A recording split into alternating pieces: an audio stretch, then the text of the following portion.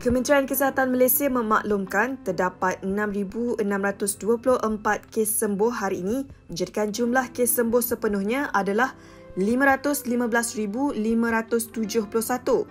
Dalam pada itu, 7,748 kes baharu positif COVID-19 dilaporkan hari ini. Menjadikan jumlah kes positif sepenuhnya adalah 603,122 manakala Dua daripadanya adalah kes import.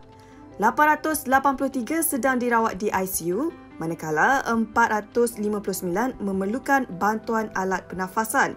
Duka cita dimaklumkan terdapat 86 kes kematian hari ini, jadikan jumlah keseluruhan kes kematian adalah 3,182.